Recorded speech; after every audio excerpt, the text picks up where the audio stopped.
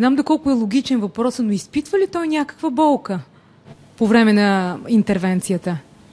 Въпросът е много логичен и това е въпрос на повечето пациенти. Какво ще усещам? Всеки нормален човек се притеснява, когато трябва да бъде извършена някаква оперативна интервенция върху него.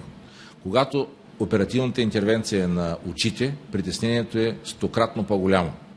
Така че метода, който е разработен при този лазер, трябва да е такъв, че той да е абсолютно безболезнен. Какво е първото условие, за да е безболезнен? Да е много бърз. Искам да ви кажа, че с този лазер 5 диоптера се махат за 15 секунди. 5 диоптера за 15 секунди. Той наистина е много бърз. Да.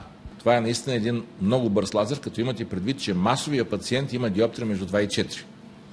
Значи, тези диоптри се махат за, от порядъка на 8, 10, 12 секунди. Но това е самото действие на лазера.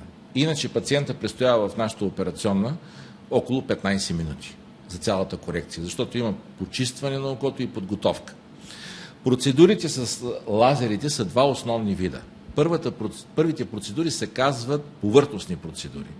Те имат а, и по-сложни имена, ще ги спомена фоторефрактивна кератомилеза, епилезик, лазек и така нататък. Това са медицински термини, но те се заключават в едно. Маха се епитела на роговицата и лазера действа върху епитела. При тази процедура пациента няма абсолютно никакво усещане по време на процедурата, но има дразнене 3-4 дена след операцията, подобно на пясък в очите. Вторите процедури се наричат лейзик процедури.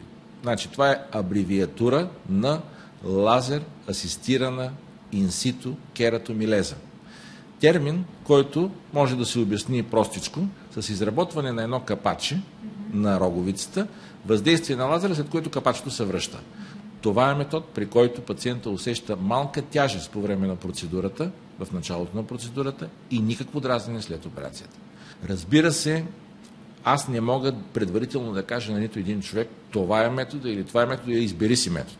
Значи единственото нещо, което аз мога да направя, е да направя прегледа на корнеалната станция и тя препоръчва кой е добрия метод за съответния пациент. А, искам да ви кажа, че във връзка с безопасността на изследванията не съм сигурен, но мисля, че от около 2000-та година пациенти, на които е правилна лазерна корекция в Съединените щати, могат да бъдат космонавти. Не леци, космонавти. Да. Значи, това, са, това е гарантиран метод и абсолютно безвреден.